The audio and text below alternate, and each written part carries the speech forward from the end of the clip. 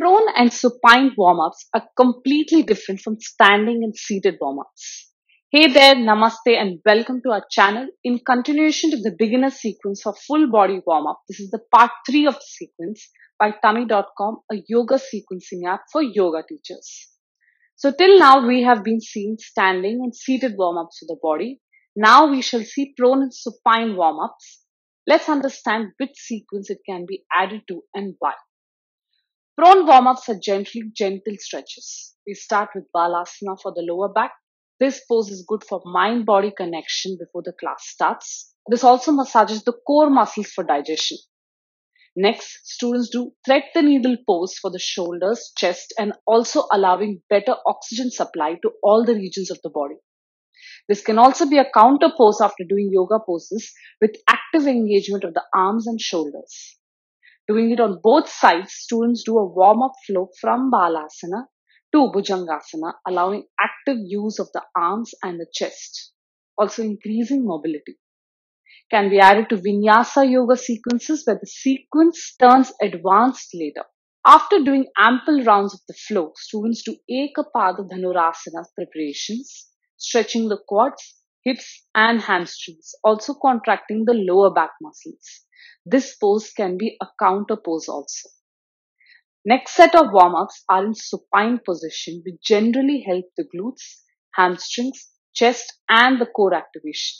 We start with Ardha Pavan Muktasana, bringing one knee close to the chest and stretching the glutes. It can be used in sequences where most poses involves active use of the legs. It can be used as a counter pose also for relaxing the stretched muscles. After which, students do Ananda Balasana, stretching the glutes and hamstrings.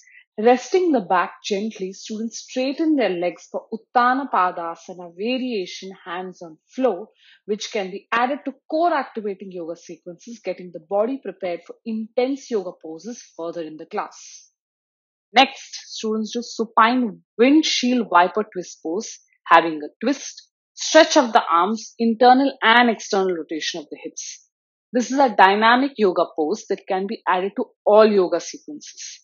Lastly, students do Apanasana, exhale, inhale, flow, good for the abdomen, chest, glutes, and breathing. This can be used as counter flow for sequences that has active use of the spine or sequences that have intense hamstring stretches. This sequence was to give you an idea on which pose can be used as warm up for what kind of sequence. Warm-ups can also be used as counter poses. Always add a good 5 to 6 warm-up poses if your theme asks for it. Keep warm-up part of the class energetic for the rest of the class to go smoothly. So if you go to the sequence builder page like we have created, the sequence name being warm-up, sequence type being Hatha Yoga and the focus being warm-ups. So you get a list of warm-up poses and you can filter it out depending upon the position you're looking for and explore as many warm-ups as you can and add it to the different sequences as per your preference and what you think is right for your students. Press the like button if you have liked our videos, share it with your fellow teachers and now create your own warm-up sequence that can come handy whenever you are sequencing for any kind of class. In the next video, we will talk about beginner sequence with the use of muscles Thank you and stay tuned.